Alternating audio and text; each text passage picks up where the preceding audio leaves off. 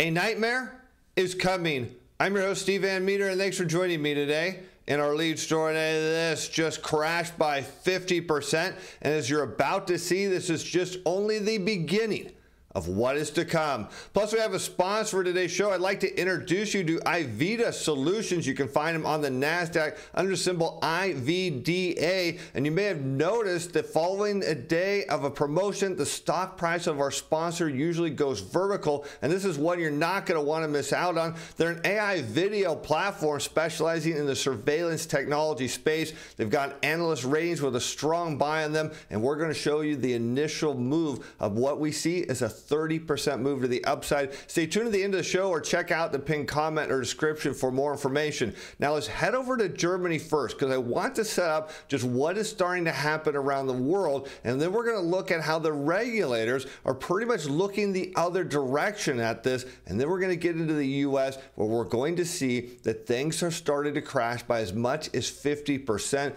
And it's only going to get worse. So here we go with Bloomberg's headline Germany's office property slump accelerates. There's a key word with record drop as prices for office buildings tumbled 13% alone here in the fourth quarter. Now, we talk about the U.S. commercial real estate crisis that is coming, but one thing we haven't really seen much of, even though we've seen some transactions at lower prices, we haven't seen any sort of big move to revalue the entire property space down in terms of price. There's a big reason they don't want to do this is because a lot of these small and mid-sized regional banks are sitting on massive amounts of commercial real estate loans that are due to renew this year. These loans are all coming due and they're coming due at higher rates. But the problem with the commercial real estate space is they've all bet, the banks have bet big that the valuations will never drop. The downturn accelerated in the fourth quarter with a 13% drop from the previous year. For the full year, prices slumped more than 10%, the most since records began back in 2003. Now, mind you, this predates, of course, the global financial crisis. So, this is a big move to the downside, and the outlook is for further declines at the start of 2024. And the commercial real estate space is absolutely critical for these smaller banks. Now, the larger banks, the big commercial banks, they don't hold a lot of commercial real estate loans, but the small and mid-sized banks are massive players here. And we've noted in the past that these banks are largely insolvent. They've taken a ton of money from the Fed. They continue to see an issue with deposit outflows. There's just nothing that's stopping the bleeding here. And once these loans start to come due and everyone finds out the valuations of these property are much lower than they expect, well, watch out. The next banking crisis will be here. And sure enough, the crisis in real estate is hitting offices harder than homes. This in Germany, as Germany's economy stumbles and uncertainty about workers fully returning to office mounts, quote, demand for offices reigns subdued. This is an issue we talked about last week how their production in terms of the industrial space is outright crashing. Eventually, that leads to layoffs and lack of demand for other work. And of course, buildings for people to go and work those jobs. The trouble in the commercial real estate market is threatening to plunge some banks into crisis. Well, it's going to do more than just some, as concerns about exposure to the sector are rising, and German lenders in particular are under increasing investor scrutiny. Now, mind you, there's going to be a point where investors are going to scrutinize every bank around the country. By the time that starts to get to forefront of major news, we're going to be in an all-out financial crisis. Again, not much different in terms of what we saw during the global financial crisis. This time only worse. The difference is going into the GFC, the banks weren't insolvent. They became that way. Now we already know they're insolvent before we even get there. And with potential office buyers still demanding steeper discounts than most sellers are prepared to offer, German commercial real estate is likely to remain weak. So you notice there's a big spread here, a big issue in Germany. Prices are already coming down, and buyers don't want to pay offering price. They want to offer much lower prices, suggesting that there is going to be a massive repricing of commercial real estate in the coming months and over the next year. Again, this hasn't hit the U.S. yet, but the issue here is, well, the regulators, they're already kind of keen to a problem. It's how they're handling it that's going to put us into the next crisis. As Yellen says, commercial property is a worry, but regulars, not don't worry. You don't need to worry. Well, we're all over this one. She says that while losses in commercial real estate are a worry, U.S. regulators are working diligently, of course, to ensure that loan loss reserves and liquidity levels in the financial system are adequate to cope. Now, notably, what we see here is Ms. Yellen is not suggesting that she knows what the problem is or that there's even a solution. The issue here is look, the banks are going to hemorrhage here at some point, and all we're telling them to do is triage this problem before it gets out of hand. We know they're going to lose money. We don't know how much. We don't even know why. All we know is they need to set more money aside for these losses. And so this is a big difference in coming out and saying, look, we identified a problem here, and we're going to get in front of it, try to solve it, figure out what the issue is, and then make policy to deal with it. Instead, it's just the same old plan. Well, just put more money aside and you'll get it figured out. And she notes that this is going to put a lot of stress on owners of these properties. She cited that the increase in interest rates, of course, we could look to the Fed, which she was the chair of not too long ago, higher vacancy rates thanks to shifting work patterns triggered by the pandemic, and get this, a wave of commercial real estate loans coming due this year. So, what are two of those issues centered around? The banks. Of course, Miss Yellen used to regulate them over the Fed. Now she's Treasury Secretary. This is a simple story. What could you do to protect the banks right now if you don't know what is wrong? Of course, what they don't realize is they actually created part of the problem. But the issue here is you could bring interest rates down and say, look, we're going to do some things to keep the banks from blowing apart here. Instead, we're just going to ask them to put more money aside. And that doesn't seem to be working at all. In fact, New York Community Bank stocks has dropped more than 50%, erasing roughly 4 billion in market value since its early release on January 31st. This has happened in about nine trading days in which it announced surprise losses and a cut to dividends. So again, you see what's going to happen to the banks. One of them's already seen their stock get hammered by 50%. Just looking at it trading today, it tried to rally, didn't come back. And this is just one bank. And this is just the beginning of what you're going to see is going to send us into the next financial crisis. And she doesn't want to comment on the situation of an individual bank, but Ms. Yellen notes that commercial real estate is an area that we've been aware could create notably could create financial stability risks or losses in the banking system. And what the solution is, it requires careful supervisory attention because you know what? They didn't actually see the crisis coming last March. So why would they see it this time? They don't actually understand it's a dual issue from the pandemic and tightening lending standards. They don't understand that the Fed inverting the yield curves and money curves has caused a lack of credit creation in our economy. There isn't just enough money around to support these higher valuations. Of course, the buildings, as you're about to see, are still empty in a big way. And property owners are coming under pressure due to soaring borrowing costs, causing companies including Brookfield, an office landlord managed by Pacific Investment Management, to default on debt. Office owners are particularly struggling as higher borrowing costs complicate financing and tenants pull back given layoffs and the rise of remote work. Again, one way to solve this problem of course, the Fed doesn't want to do it, would be to lower interest rates. This is one of the reasons why making the case that the Fed is going to get to zero when the next crisis hits as fast as they've ever gotten to zero in the past. is going to be the biggest move down in interest rates, and you can see it brewing now because their only solution is look, banks, you need to set more money aside for losses. What's the problem? They don't have a whole lot of money to do that with.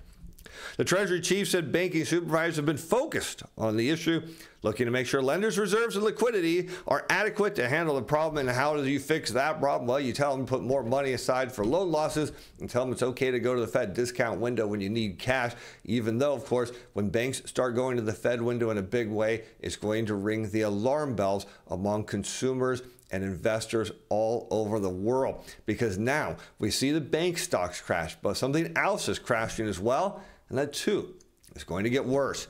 As office building remains half empty, but U.S. cities can shrug it off. We see occupancy rates have hovered near 50% since January 2023. And you think about this if we head into a recession, is that number going to go up or down? Well, it's simple. As more people hit the unemployment line, well, that means you're going to have more vacancies in those offices as companies look to restrict and restrain how much space they need. They're going to cut back in big ways. Here we can see office occupancy in 10 of the largest U.S. metropolitan areas rose to a new high of 53% for the week ending January 31st. Now, we talk about this potential no landing or soft landing scenario. Does this look like one? No, because if the economy was expanding here, don't you think there would be an increased demand in office space? Then there certainly would. We're seeing just the opposite here, suggesting that even though the weekly unemployment claims on a seasonally adjusted basis aren't reflecting what appears to be the reality of the current U.S. labor market. And the firm's barometer on how corporate return to office policies has going been hovering around that level for the last 13 months, but that's not the issue. Cities are shrugging off the empty offices as if we didn't need them to begin with, and its implications for the commercial real estate market because they can. For now, until the next crisis hits, and what we're going to see is municipalities all around the United States are going to be screaming and crying for money in a huge way, as you're about to see.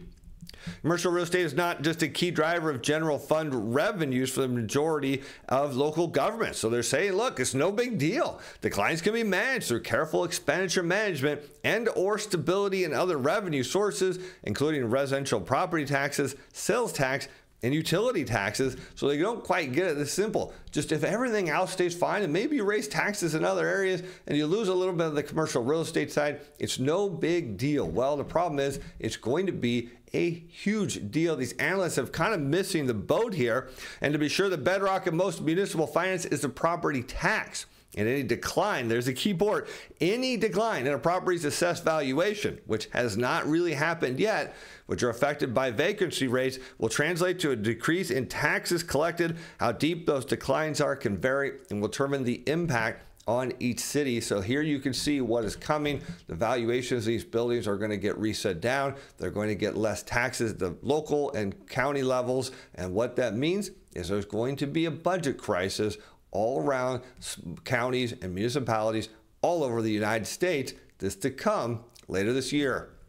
And the full impact of commercial real estate valuations declines on tax revenue will likely be phased in over several years, allowing time for contingency plans to take hold. And this is why I wanted to start to show out and talk about what's going on in Germany. And normally the prices were accelerating. You see the biggest drop since the record data was on record. And here in the US, it's like, well, the prices are going to go down, but really slowly. And it's not even going to be noticeable to the point where everyone will be able to adapt to it. The issue will happen is when prices start to crumble here, everyone's going to panic.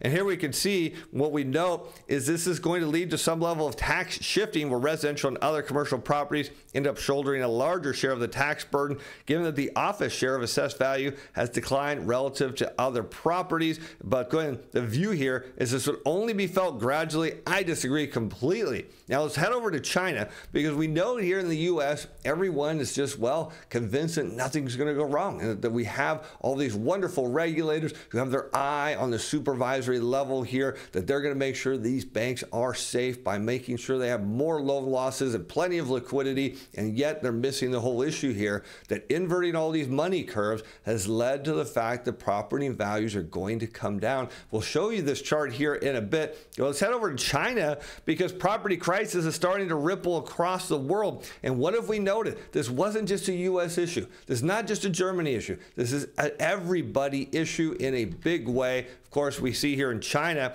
that the worldwide slump triggered by borrowing cost hikes, again, central banks inverting money curves, has already wiped off more than 1 trillion off of office property values alone. This from Starwood Capital Group's chairman. But the total damage is still unknown because so few assets have been sold, leaving appraisers with little recent data to go on. In fact, completed commercial properties deals globally sank to the lowest level in decade last year, with owners unwilling to sell buildings at steep discounts. You think about this from the labor market, the construction sector. Well, if no one's demanding properties being built, no one even wants the ones we've got. Well, that means people in the construction sector, they're going to face mass layoffs as well as demand goes down. Meanwhile, regulators in the market is nervous that this logjam could be concealing large unrealized losses. Don't worry, my friends, they are. The problem will be is how big they are, spelling trouble for both banks who push further into brick and mortar lending during the cheap money area and asset owners. Again, putting the entire global banking system in a state of insolvency at the same time. Again, this is all coming this year. And just this week, we note that Canary Wharf is selling for 60% less than it sold for 2017 after it was seized by lenders from Chinese investors. The sales are part of a rebound in disposals after some developers paused for breath last year while working on restructuring plans. Could you only imagine what would happen to the US banking system, if buildings were repriced down by 60%, you would watch bank after bank fail. There's no way they can set aside enough money to handle such losses like that. They're already on the edge now. And yet, of course, the regulators they just don't seem to care. But as we look back now over to Europe, we see the problem is still dealing with everyone. This is an everyone issue as the banks are under a microscope with property worrisome swirling here. What do we know? Investors and executives have been on the edge after smaller banks from New York to Tokyo were hit by rising defaults in commercial real estate. An asset class has been in sharp decline as last year's spike in interest rates compounded challenges from the shift to work from home. The concern spread to Europe this week when PBB's bonds slumped because of exposure to troubled U.S. market. So here we can see, as we've noted, when money curves get inverted and you constrict the creation of credit, what is the very next thing that happens? Well, you get an increase in delinquencies. We see that in this chart here. If you look at the net percentage of domestic banks tightening standards for commercial industrial loans to firms of all sizes against the delinquency rate in commercial real estate loans. Now, going back into the 2000s, we know we had the dot com bubble, of course, banks tightened lending standards, and a lot of things came down, mainly tech companies. But what we didn't see was a remarkably in big increase in the delinquency rate. It went up a little bit because there was still demand for office space. But fast forward now to the global financial crisis, which we know was started in the residential real estate space. Banks tightened lending standards, del- delinquencies, boy, they just shot higher. This time, of course, we don't have an update yet on the data, but we know where this is going. Banks continue to keep lending standards tight. Why? Because the Fed continues to keep the curve inverted. But don't worry, the Fed isn't listening, but the alarm bells are ringing in a big way. As we see from this headline here, economists haven't been so critical of a tight Fed since 2010 as a rising share in the NABE poll says Fed policy is too restrictive and central bank has pushed back expectations for timing of easing, suggesting everyone's starting to wake up to the reality that the Fed needs to cut rates. They need to start doing that. Inflation isn't going to be the issue here. When commercial real estate prices start to come crashing down and the banks are turned into ins- go into insolvency and then they go into default and out of business completely, inflation is going to be the last of our problems. But one thing we do believe is poised for massive growth is the stock for our sponsor, IVEDA Solutions. They're on the NASDAQ under symbol IVDA. As we started the show, they're a video platform, and boy, they've got some analysts behind us and predicting a massive move in the stock. In fact, it's moving today. And what we can note is that in the past, when we've had a sponsor on the show following the first day of our sponsorship on the show. The stock takes off. You're not going to want to miss out on this one. I'm going to show you potential 37% move. It's already beginning today. And IVEDA, they're an AI video platform, Internet of Things, and smart city technology. They make it easier to search, manage, analyze, and secure your stuff. And here you can see they have 60,000 plus cameras installed with over 300 projects. They've been in business a long time, over 17 years across 19 countries. They are digital transformation pioneers. Since 2005, they've been developing and delivering cloud based video, AI surveillance technologies. Today, IVEDA is at the forefront of digital transformation, providing solutions to many cities and organizations around the world. And here you can see they actually have the technology to do smart, safe, and smart cities, elderly care, public health, school safety security, building security, you name it. This company, they have got it covered, and they are the largest AI video analytics offering in today's market. They're compatible with existing cameras, and the robust set of AI video analytics helps organizations access intelligent detection capabilities, elevate situational awareness, and provide critical alerts within seconds. Our solutions are tailor made to meet your specific product requirements and can scale with your business and growth needs. And something we think is going to scale and grow is their stock price. Again, check them out on the NASDAQ here under symbol IVDA because analysts, they're behind this too. Here we see Maxim Group's got a strong buy with a price target of $1.50. That would be nearly a 3x move for the stock. Let's make the case here on the charts. Let's look at the first move of this because today the stock price started to shoot up. We know this thing is likely to continue to break out as we've noted in the past Companies that are featured on the show tend to see a big move over the following days. Look at this volume profile line over the last six months. You can see buyers coming down here. Look, the stock came down deep in the supply zone and then went rocketing higher. We think the same setup is likely now. Sellers came in, drove it right down the supply zone. Buyers ate up all the supply. You see the six month volume profile where they've been buying everything underneath here. Now, as the sellers are worked out, the stock is starting to take off. We can zoom in here to the 90 day chart. What do we see? A very clear picture at 60 cents. That's where all the big players have been buying up the shares as sellers get out. And now the stock is taking off in a big way. And we think another big move here is right on the cusp. Again, you can find them, IVDA Solutions, on the NASDAQ under symbol IVDA. And as always, with any company we feature on the show, you're under no obligation to purchase their stock. Be sure to do your own research before placing any trades. And with that, I'm Steve Van Metre. Thanks for watching. Thanks for being fans. Bye now.